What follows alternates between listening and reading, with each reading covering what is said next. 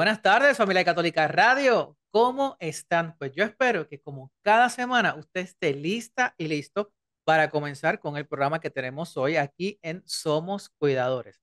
Oiga, familia, y como cada semana me alegra acompañarles. Yo soy el doctor Ángel Muñoz Alicea, el director de la Escuela para Cuidadores de Adultos Mayores de la Pontificia Universidad Católica de Puerto Rico. Familia, y si ya usted escuchó el intro, sabe que son las 3 y 10 de la tarde, momento donde usted deja todo lo que esté haciendo. Todo, todo, no importa. Bueno, excepto si está cocinando, pero si no está cocinando, usted pare de hacer lo que está haciendo, póngase cómoda, póngase cómodo, busque su tacita de café, busque su limonada, su jugo, su agua fría, lo que usted quiera. Y siéntese para escuchar el programa que tenemos hoy, que como usted sabe, es para usted, para aquellos cuidadores, principalmente cuidadores de adultos mayores. Y como sabe, las recomendaciones aquí nunca están de más. Siempre vamos a tener recomendaciones para usted, así que ya sabe que es momento de. Ahora, si por alguna razón usted se perdió el programa anterior, pues mire, no hay problema. Usted sabe que nuestro contenido está disponible 24/7 en las diferentes plataformas. Entra a YouTube, Spotify, pues mire, la superdirección de lo que va a hacer es escribir Somos Cuidadores y ahí va a tener el contenido, mire, accesible para cuando usted quiera escucharlo o pueda escuchar aquellos que les gusta escucharlo cuando están en el trabajo o haciendo alguna tarea, pero también si usted tiene una Alexa, dígale, Alexa, pon el podcast de Somos Cuidadores para que, mira, pueda escucharlo desde cualquier parte de la casa donde usted se encuentre, ¿ok? Sabe que usted solamente tiene una tarea y es que el conocimiento es para compartir. Así que aquellos temas que usted sepa que un familiar, que alguien del trabajo, que una prima, una tía, oiga, quien sea, se puede beneficiar, envíeselo, compártalo. ¿Ok? Recuerde que todos los días alguien se convierte en cuidador. Para nuestra familia extendida de Latinoamérica, usted sabe que, que ustedes son parte de nuestra razón de ser, así que un fuerte saludo, abrazo, sobre todo a mi familia de Santo Domingo, República Dominicana, que como saben estuvimos por allá ofreciendo unas conferencias magistrales en la Universidad Nacional Pedro Enrique Sureña.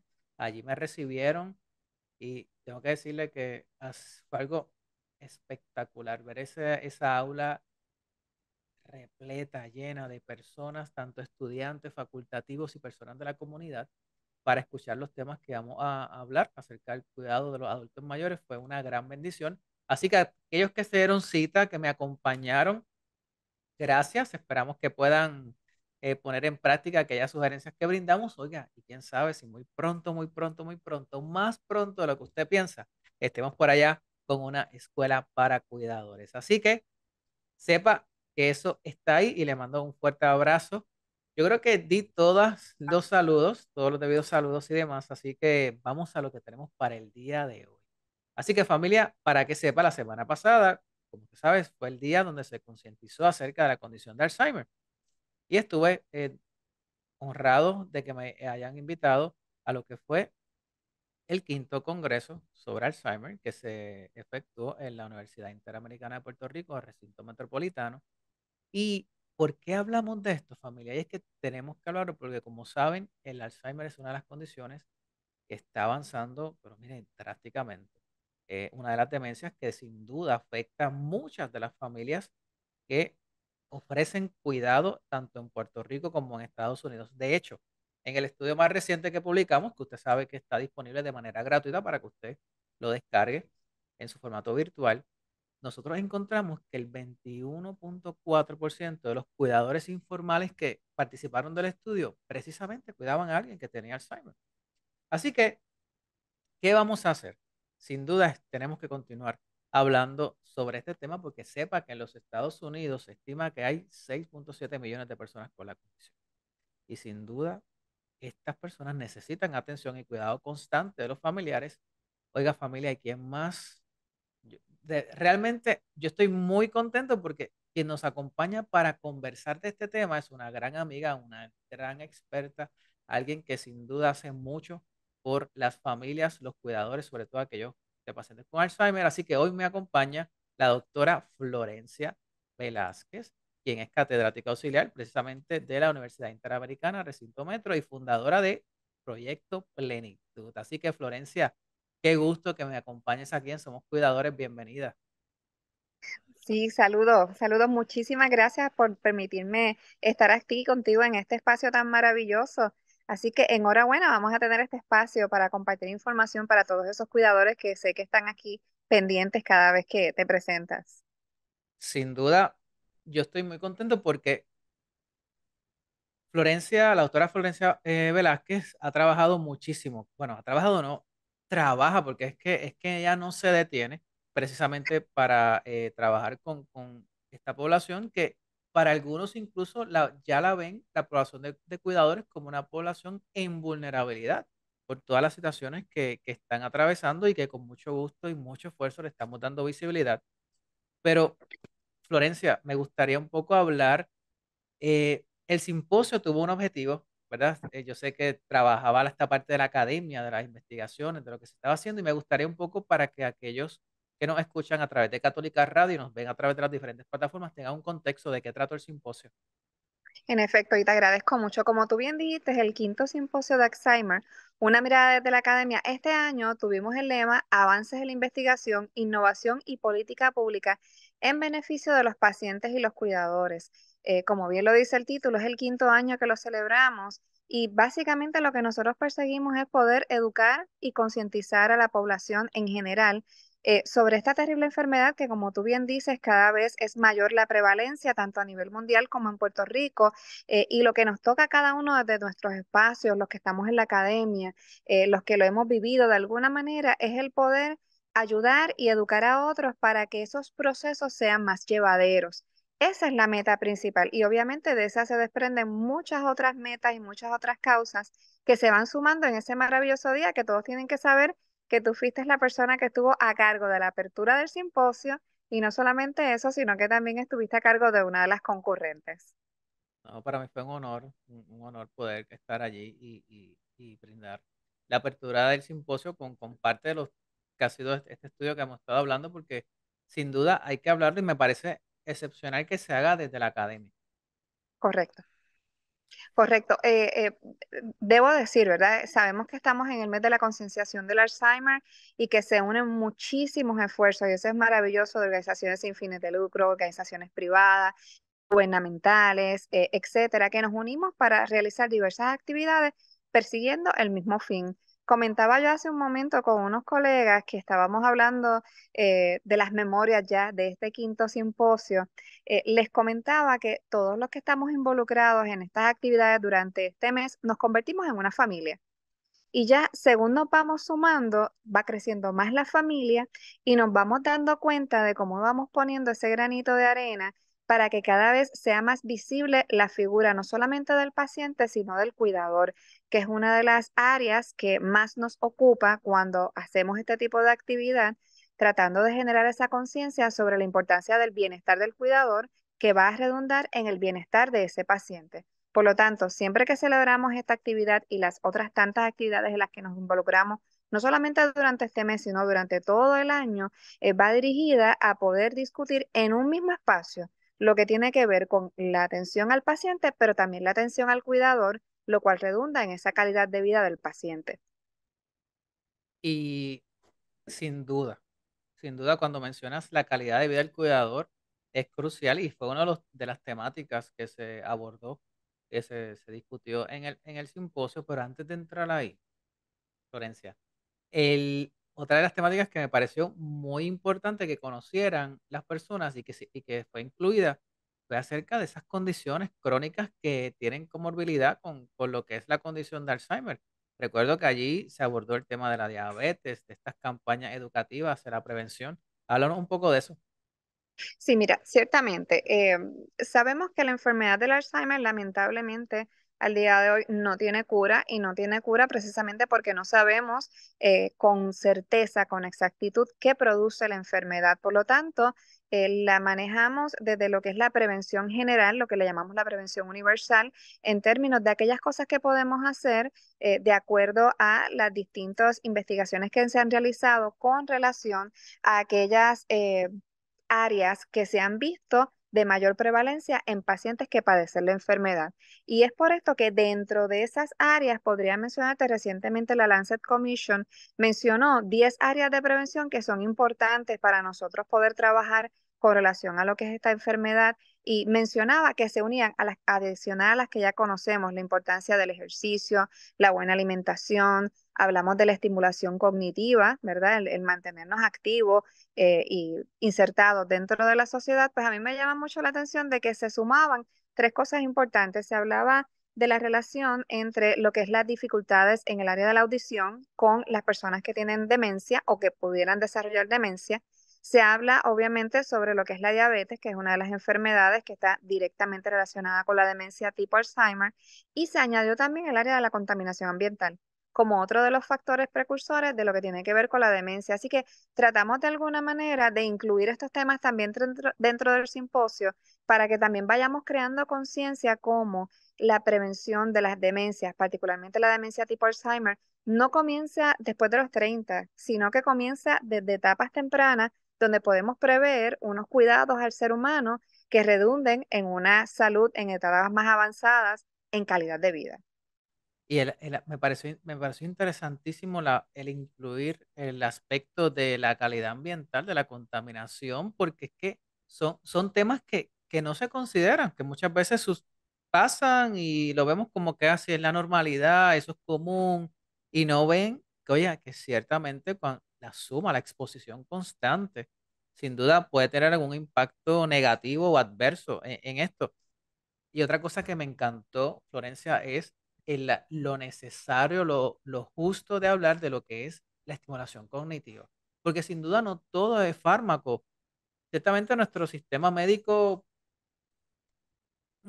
para bien o para mal, eh, ¿verdad? Eh, lo que se impulsa es la farmacología, pero, oiga, no, hay diferentes actividades o terapias no farmacológicas que pueden ser útiles. Mencionaste precisamente una de ellas y, sé que uno de los temas fue también ese.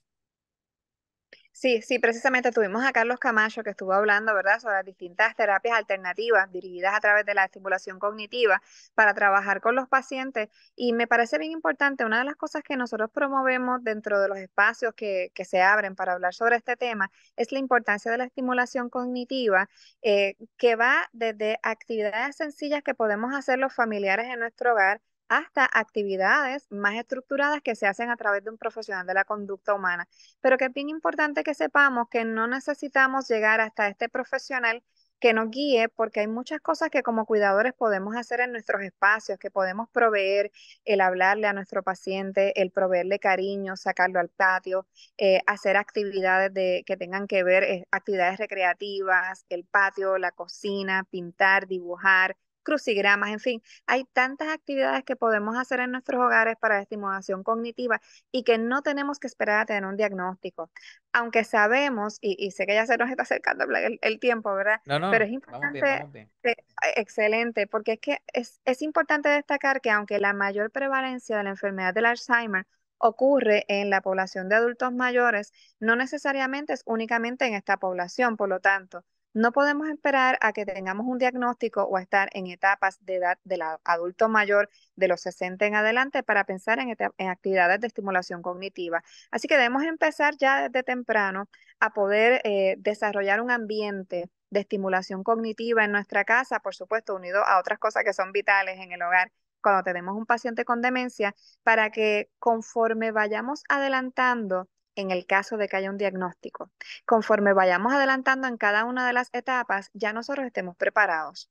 Eh, y, lo menciono porque esa fue mi, mi, mi receta, por así decirlo, ¿verdad? Eh, como sabes, yo también fui cuidadora durante 12 años y más allá de, de, de los títulos académicos, el yo educarme con relación a la enfermedad y conocer qué me esperaba en cada una de las etapas, me ayudaba a mí a proveer estas actividades de las que estamos hablando. Y aunque fuera del libro, yo le llamo a esto estirar el chicle.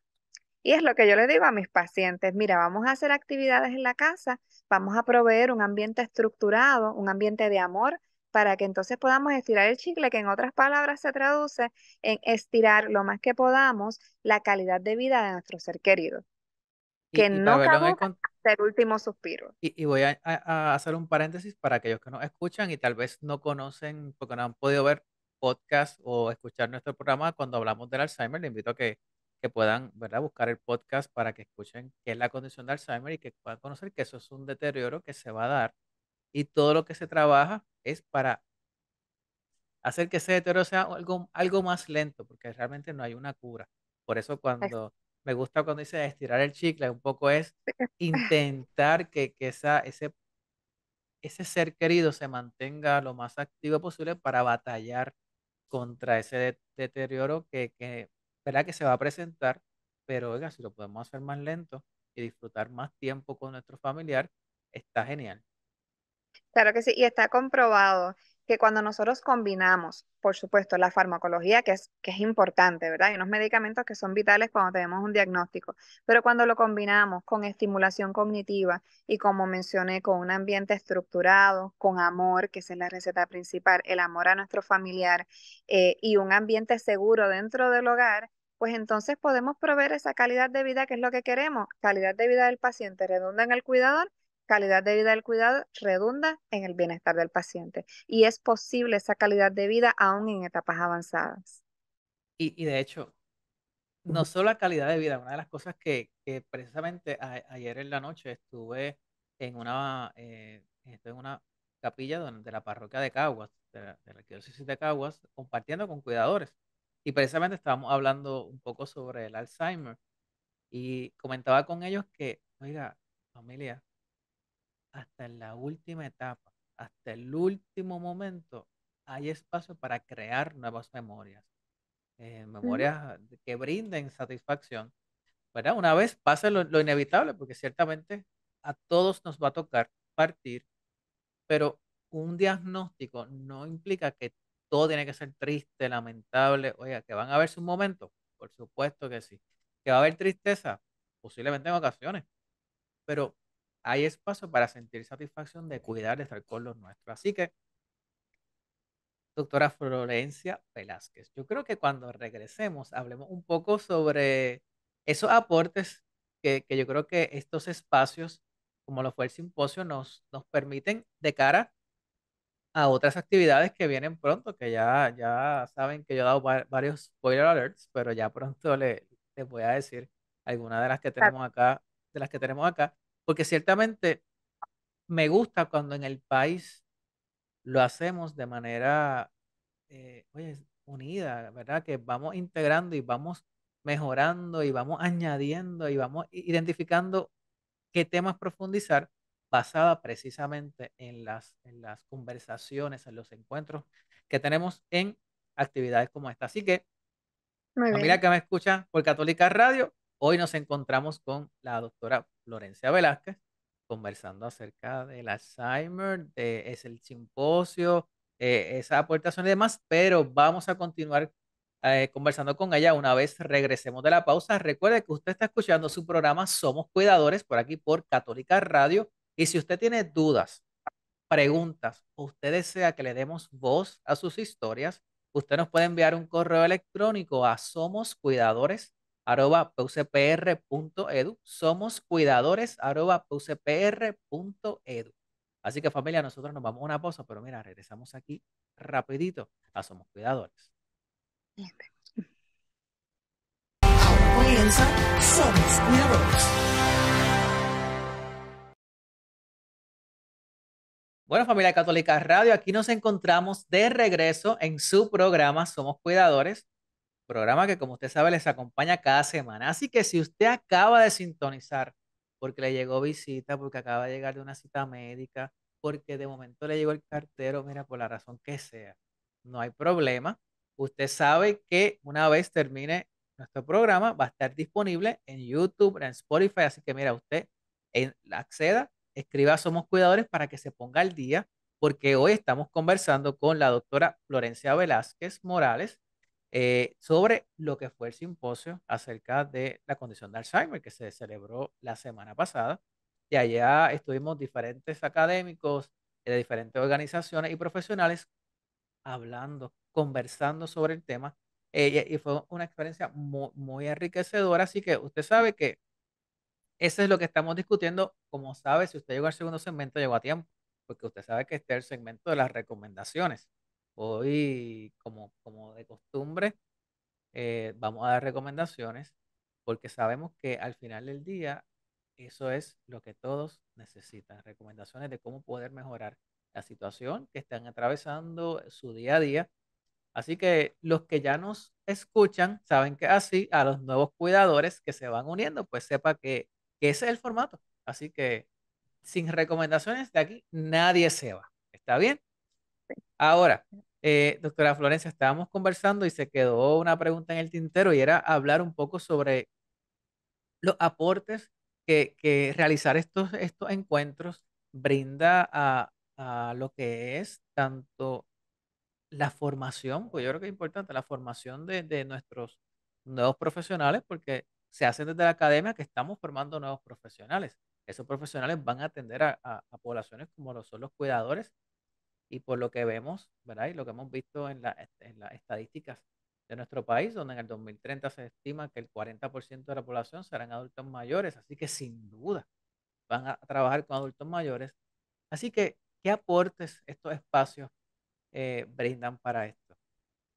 Sí, mira, excelente. Eh, an- antes de responderte esa pregunta, me quedé un poquito pensando antes de irnos al receso sobre lo que hablabas eh, de crear memorias, eh, los cuidadores que podemos crear memorias y buenos momentos con nuestros pacientes. Y es importante que sepamos que eh, el rol del cuidador tiene una mirada objetiva y una mirada subjetiva. Y esa mirada objetiva es la- las tareas que yo realizo. eh, físicamente con mi familiar, pero la parte subjetiva es cómo yo recibo el ser un cuidador. Y precisamente si yo miro mi rol de cuidador como algo positivo, como que algo, algo que yo hago voluntariamente hacia alguien que yo amo, y yo procuro los espacios, que es de lo que estamos hablando, para yo educarme, unido a otras otras cosas que vamos a estar hablando, pues entonces ese rol de cuidador se convierte en algo positivo donde en efecto yo puedo crear esas memorias y facilitar lo que es esa calidad de vida tanto para el paciente como para mí como para cuidador. Que me parece importante, ¿verdad? Porque le damos muchas veces, muchas veces, perdón, una nota triste al rol del cuidador, sombría, lo que me toca, etcétera. Pero cuando lo vemos de manera distinta y nos enfocamos en las bondades, en lo maravilloso, en el privilegio de nosotros poder cuidar, entonces nos damos cuenta de que es más lo bueno que lo no tan bueno. Me, me gusta eso que dices, porque es que realmente tiene que ver con significar. Y, y sin duda estamos por diferentes razones. Yo creo que tiene que ver mucho con, con nuestro trabajo, nuestra profesión, que las personas que se nos acercan, tanto a Florencia, que es trabajadora social, en mi caso, que soy psicólogo clínico, generalmente vienen porque tienen problemas, tienen situaciones, no se Ujú, sienten, no se sienten bien, como bien decías, e- e- esta prevención, este evitar sentirme peor no se suele dar, así que cuando llegan, solemos ver, como bien dices, personas que están muy agotadas, muy drenadas, con un panorama eh, que ellos pueden significar como sombrío. Y sabes que me, me- qué bueno que lo mencionas, porque incluso nosotros como profesionales, bueno, voy a ver por mí. A veces ujú, yo como profesional, pues en el intento de darle voz eh, a estas situaciones para que otros familiares eh, se integren, para que el, el- el gobierno atienda, ¿verdad? A través de política pública, ciertamente podemos dejar al lado u obviar el que hay momentos que son excelentes, que son muy buenos, que las personas y las familias cuidadoras se disfrutan, que no todo el Sí, mundo la está pasando mal. eso es así. Eso, eso es correcto. Eh, y eso va a depender enormemente de ese, de ese significado que yo le dé al ser cuidador. Y, y hay que individualizar. Cada, cada familia, cada paciente, cada cuidador tiene una historia de vida. Y tenemos que empezar por abrazar esa historia de vida, abrazar esa decisión, porque es una decisión. Ser cuidador es una decisión indistintivamente de las circunstancias. Si nos quedamos es porque lo hemos decidido y junto con eso todas las tareas que, que le acompañan, pues tiene que haber un significado de amor para que se puedan realizar adecuadamente.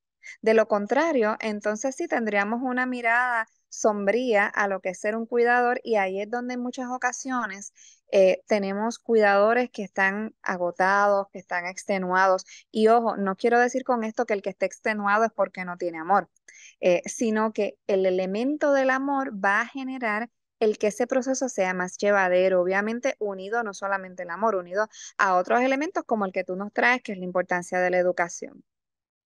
Y, y sabes que mencionas lo del amor y sin duda cuando la situación se complica, porque Ujú, y, ¿verdad? Cuando digo se complica, vamos, podemos enmarcarlo en que hay cansancio, en que se encarga el cuidador de múltiples eh, situaciones que surgen en el día a día y ese cansancio en ocasiones puede se- hacer percibir a la persona que, que la situación le eh, lo sobrepasa, sus destrezas, que no necesariamente así, ¿verdad? Que habla del cansancio y es el amor hacia la persona cuando uno ve recuerda lo que le da esa fortaleza eh, adicional en los momentos complicados.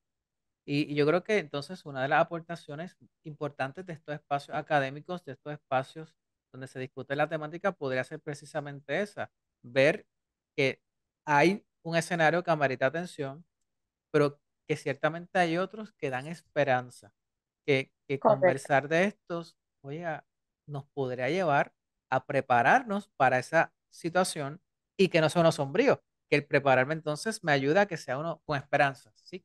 Eso, eso es correcto. Y precisamente, entonces, ahora un poquito conectando con la pregunta que hiciste de inicio, eh, cuando traba- la, enfermedad del Alzheimer o las demencias, por hablarlo en términos generales, traen consigo una serie de retos que van creciendo de acuerdo a las distintas etapas de la enfermedad.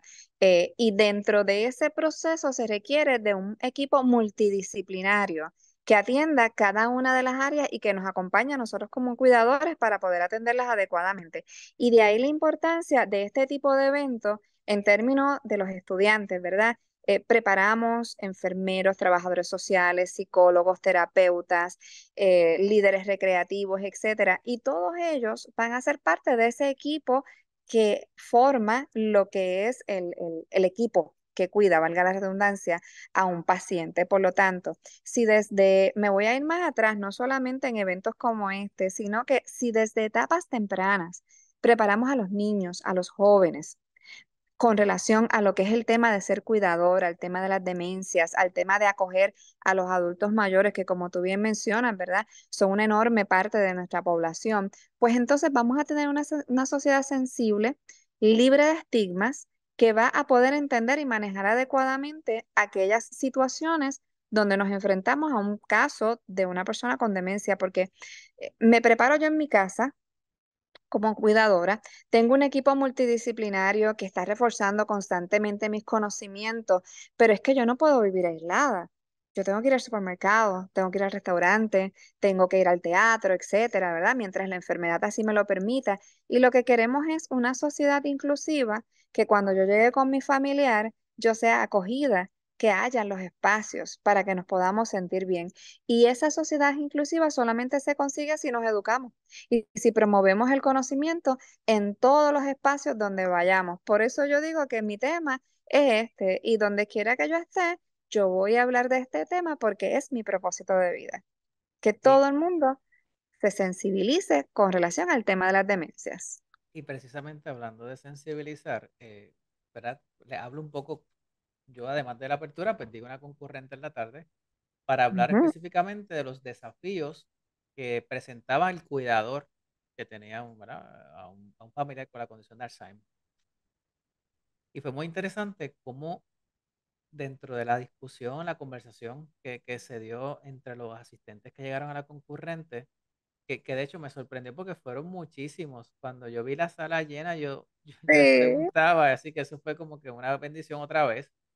Y, y fue muy interesante porque cuando llegó el punto de las recomendaciones, ellos mismos identificaron, ellos, eh, digo mismos, ellas y ellos, porque fue una, los participantes. variada, sí, fue una variada, eh, identificaban que era importante sensibilizar al profesional que le brindaba servicio.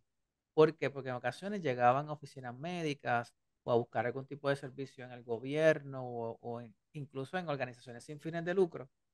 Y en ocasiones la persona ya estaba tan automatizada en, dar la información, en tal vez esa persona que le dio el diagnóstico de, Alz- de Alzheimer al, al paciente no le explicaba detalladamente al familiar cuál era lo que se iba a enfrentar a corto plazo o qué debía hacer o a dónde podía acudir, que en ocasiones la persona, el familiar recibía la noticia y se quedaba, ¿verdad?, impactado por la noticia y no le daban información que de alguna manera le diera, ¿verdad?, algún sentido de calma o de que la, la situación es sobre es llevadera, ¿verdad? O se puede, se puede atender.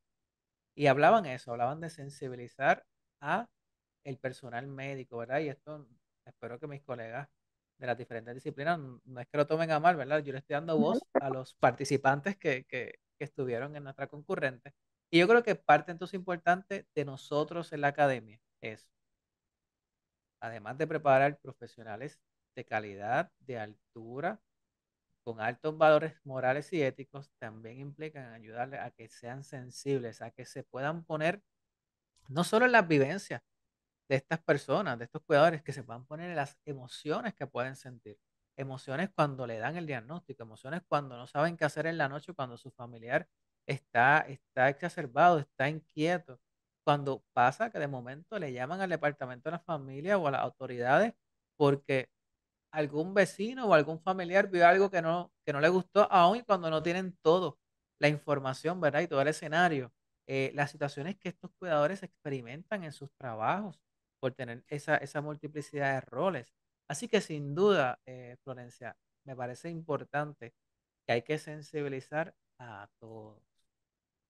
Eso es así. Y fíjate, eh, interesante que traigas esto porque yo creo que es un reclamo que se repite en todos los espacios donde se discute el tema. Hay dos cosas que eh, dentro de los tantos em, retos que se enfrenta como cuidador, hay dos que se repiten. Uno de estos es el que tú mencionas, el, esa sensibilidad que tiene eh, la clase profesional hacia el cuidador en los distintos escenarios particularmente cuando se ofrece ese diagnóstico, que es un momento muy fuerte emocionalmente para ese cuidador. Y también otro que tú interesantemente incluiste en tu estudio, que es el de la fuerza laboral. ¿Verdad? Cómo en nuestros distintos escenarios de trabajo eh, podemos ser atendidos adecuadamente, reconocidos adecuadamente dentro de nuestro rol de cuidador, eh, para que podamos hacer esos espacios y cumplir adecuadamente con mi rol, en este caso de mujer trabajadora, y mi rol de cuidadora, ¿verdad? Poder cumplir adecuadamente y que no sea un elemento estresante el tener que cumplir, sino que yo pueda cumplir con ambos, tal cual como cumplen unos padres con el cuidado de sus hijos que se le proveen esos espacios, pero también que los cuidadores este, tengan, tengan esos espacios. Así que sí, interesantemente eso se repite en todos los espacios donde hablamos sobre este tema.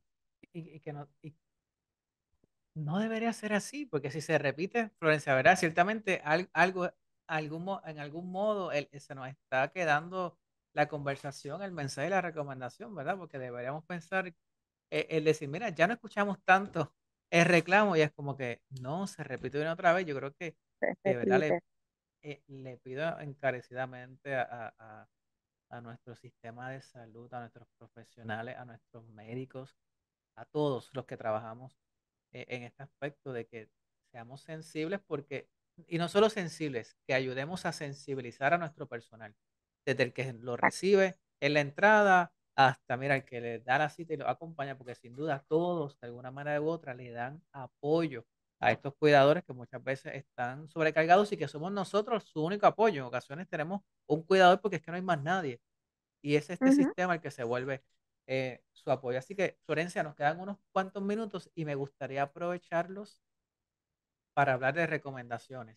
Desde tu experiencia eh, en el proyecto Plenitud y toda tu experiencia como cuidadora, y toda tu experiencia que sé que tienes y que no has compartido aquí porque es largo y tendido, pero Florencia, la doctora Florencia que tiene una vasta experiencia en este campo, así que me gustaría que le puedas dar a nuestros radioescuchas de Católica Radio y los que nos ven en los diferentes países recomendaciones para sobrellevar esta situación.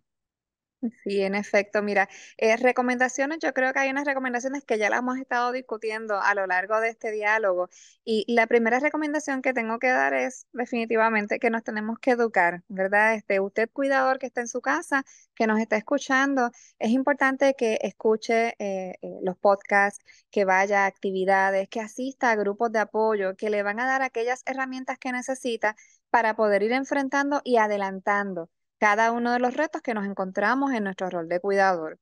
Es importantísimo el que usted eh, busque esa ayuda y aquí me voy a lo que es el aspecto espiritual. Hay tres palabras importantes que yo promuevo en los distintos espacios que son la educación, el amor y la fe. La educación, de la cual hemos estado hablando en todo este espacio, la fe, eh, que cada uno de, nuestro, de nosotros busquemos dentro de sí cuáles son los valores, esos principios que son los que nos sostienen en el día a día y los podamos utilizar como una herramienta para poder manejar las situaciones que enfrentamos con nuestros pacientes y con nuestros familiares o seres queridos.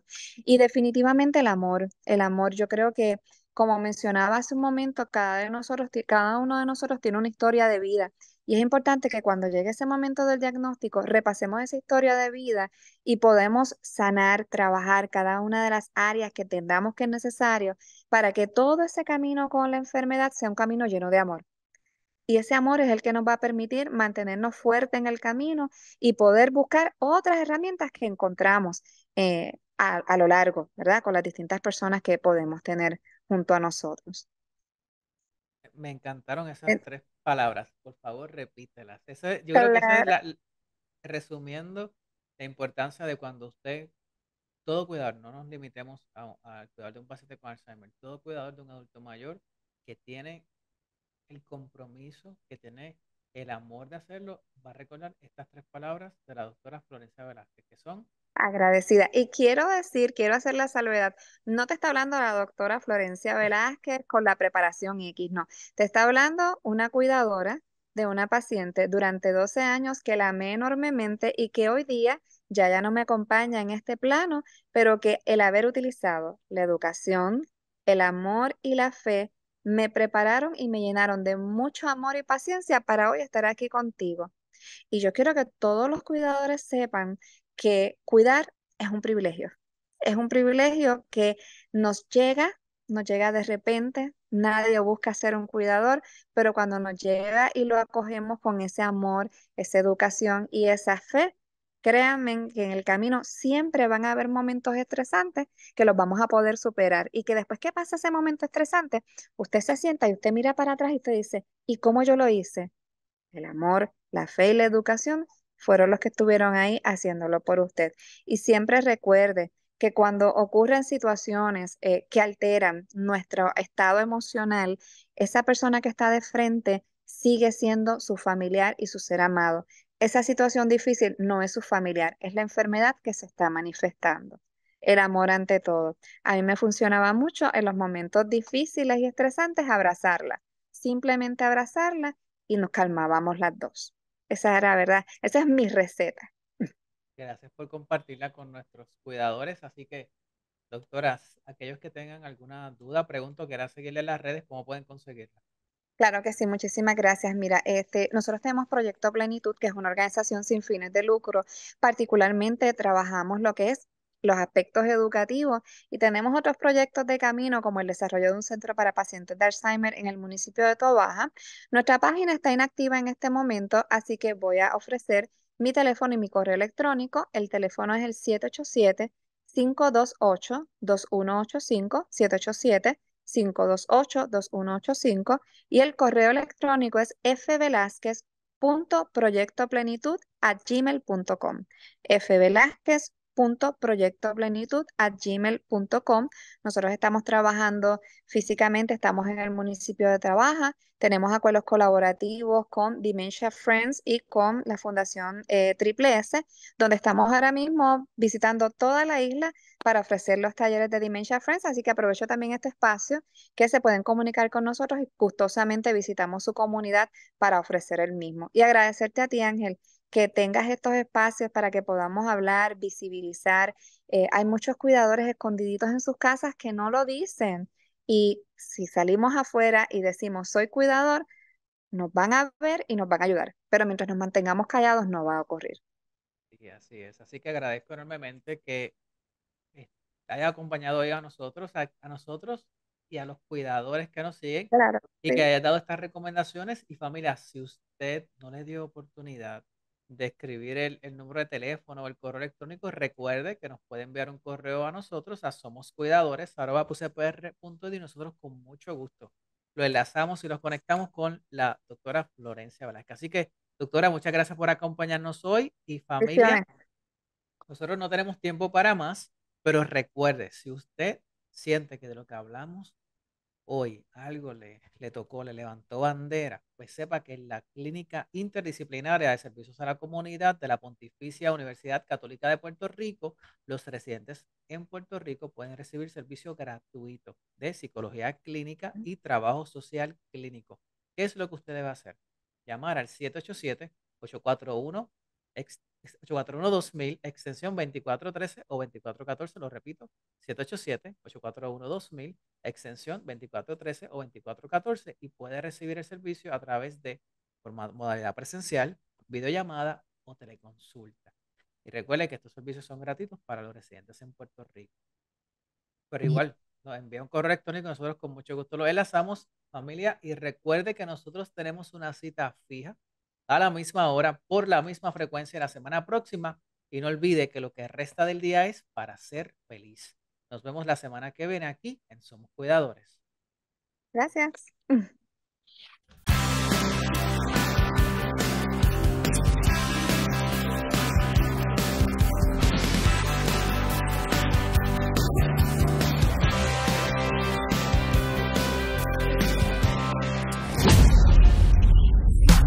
Somos cuidadores